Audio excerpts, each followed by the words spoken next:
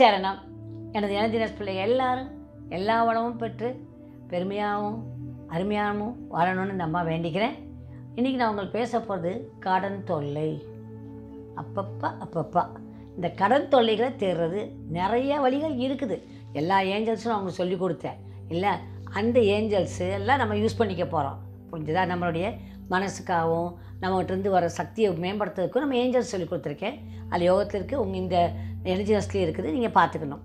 இப்போ இன்னும் ரெண்டு மூணு வழிகள் சொல்கிறேன் வழிகளை சொல்கிறேன் அதை பாருங்கள் முதல்ல வந்து குபேர எந்திரம் எல்லாருக்கும் தெரியும். அது தெரிஞ்சது. அது எப்படின்னா ஒரு ஒரு அழகான பழகை எடுத்துக்கோங்க. எடுத்துக்கிட்டு அதில் நம்ம ஒம்பது கட்டம் போட்டுக்கணும். மேல் வரிசையில் இருபத்தேழு இருபது இருபத்தஞ்சு. அதுக்கு ரெண்டாவது வரிசையில் இருபத்தெண்டு இருபத்தி நாலு இருபத்தாறு மூணாவது வரிசையில் இருபத்தி மூணு இருபத்தெட்டு இருபத்தொன்று நாலு பக்கம் ஸ்ரீ ஸ்ரீ ஸ்ரீ அப்படின்னு எழுதிக்கிறீங்க. அதை இப்போ பார்ப்பீங்க நீங்கள் பிக்சரில் பார்த்துக்கலாம் பார்த்துட்டு அதில் இந்த எழுத்து மறையாத அளவுக்கு ஒரு ரூபா காயின்னு மேலே ஒன்று தெரியணும். டவுட் வரக்கூடாது. ஒரு ரூபா ஒன்று ஒன்று ஒன்று இந்த ஒம்பது கடத்துலையும் ஒம்பது காயினை வச்சுக்கணும்.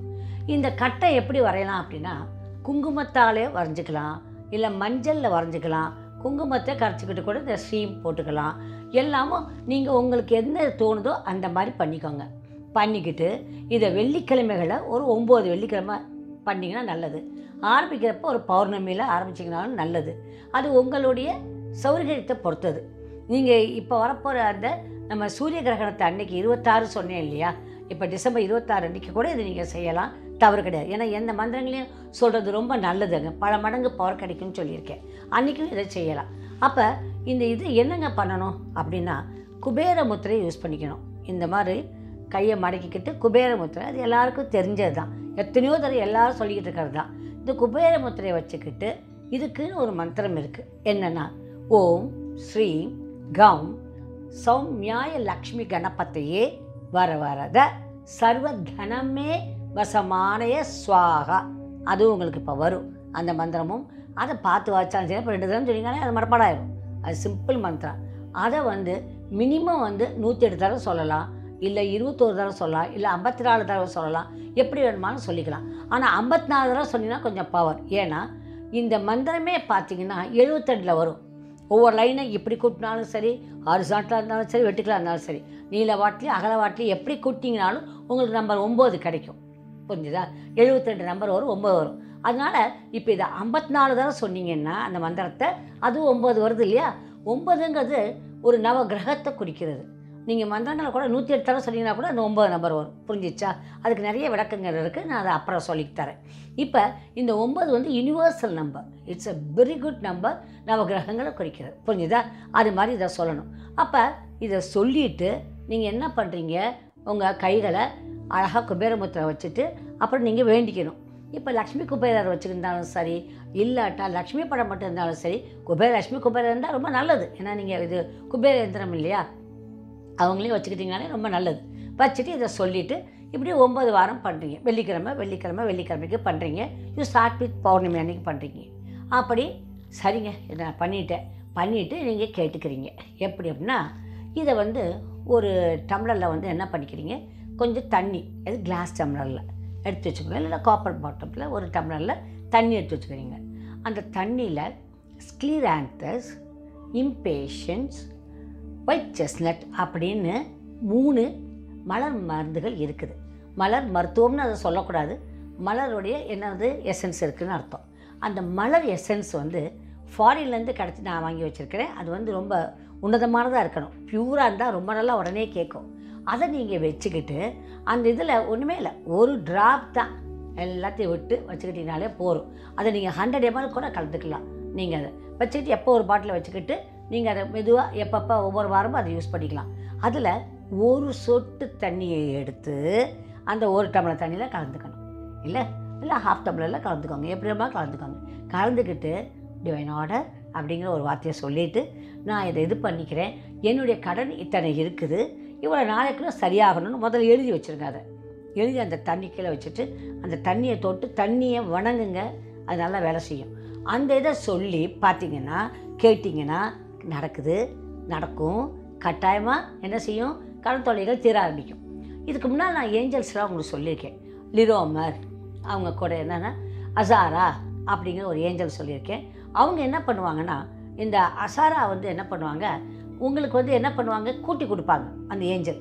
அதாவது எந்த விதமான கடன் இப்போ நீங்கள் ஒரு கடனுக்கு வந்து போகிறீங்க அதை அடைக்கணும்னா வேறு ஏதாவது ஒரு நகை அடமானம் வச்சுருக்கேன் அதை எடுக்கணும். அதுக்கப்புறம் எனக்கு இப்போ பண தேவைகள் இருக்குது அந்த பண தேவைகளுக்கு வந்து அந்த அசாரா ஏஞ்சல் வந்து ஒர்க் பண்ணும்.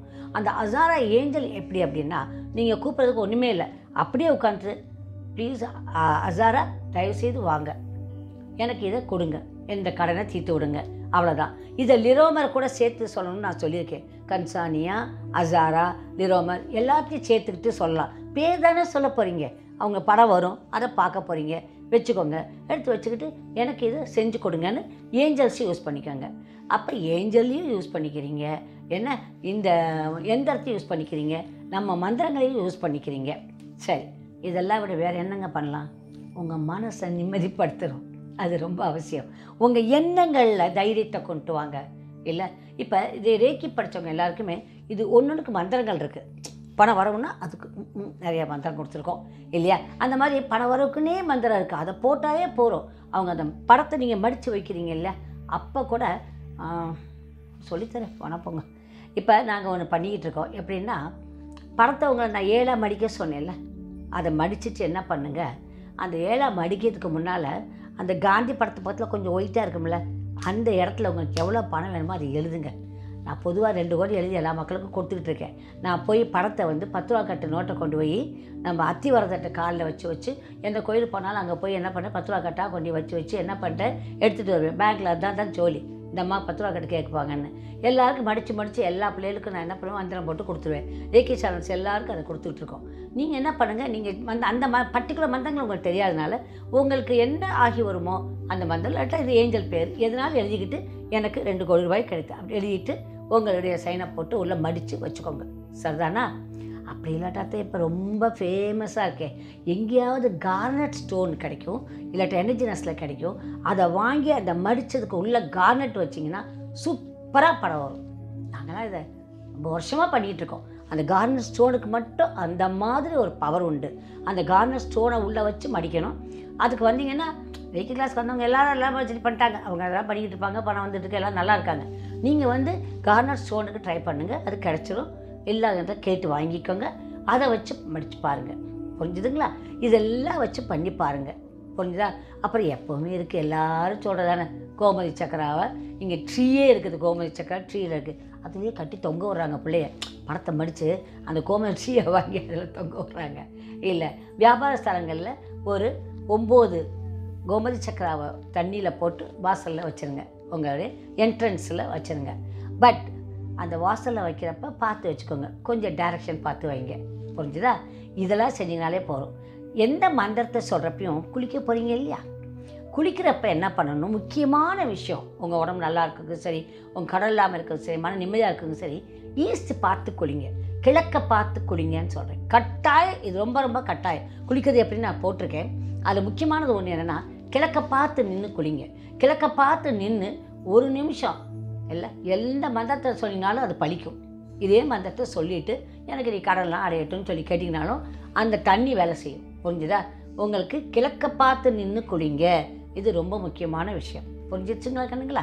கிழக்க பார்த்து நின்று சமைச்சு சாப்பிடுங்க. உங்கள் அடுப்பாங்களில் எந்த திசையை பார்த்து நீங்கள் சமைக்கக்கூடாது. கிழக்க பார்த்து நின்று தான் சமைக்கணும். கிழக்க பார்த்து நின்று குளிக்கணும். கிழக்க பார்த்து நின்று சமைக்கணும். இந்த ரெண்டு ரொம்ப முக்கியம். அதே போல் சாமி உள்ள சாமியெல்லாம் கிழக்கு பார்த்து இருக்கிறது ரொம்ப நல்லது. வேறு வழியே இல்லை அப்படிங்கிற பட்சத்தில் அது மேற்கு பார்த்து வைக்கலாம். ஆனால் கிழக்க பார்த்து சாமி ரூம் இருக்கிறது ரொம்ப உங்களுக்கு நல்லது நடக்கும் வீட்டில் எல்லா சாமி ரூமும் என்னை பொறுத்த வரைக்கும் நான் நிறைய சாமி ரூம் வச்சுருக்காரு நான் கிழக்க பார்த்து வச்சுருக்கேன். சென்னையில் முடியாதனால வேறு வழி இல்லாதனால மேற்க பார்த்துருக்கேன். ஆனால் நான் கிழக்க பார்த்து உட்காந்து எந்த பூஜைகளும் நான் பண்ணுறது இல்லை வடக்க பார்த்து உட்காந்து பூஜை பண்ணலாம். புரிஞ்சுதா? வடக்க பார்த்து குருமார்கள் இருக்கலாம்.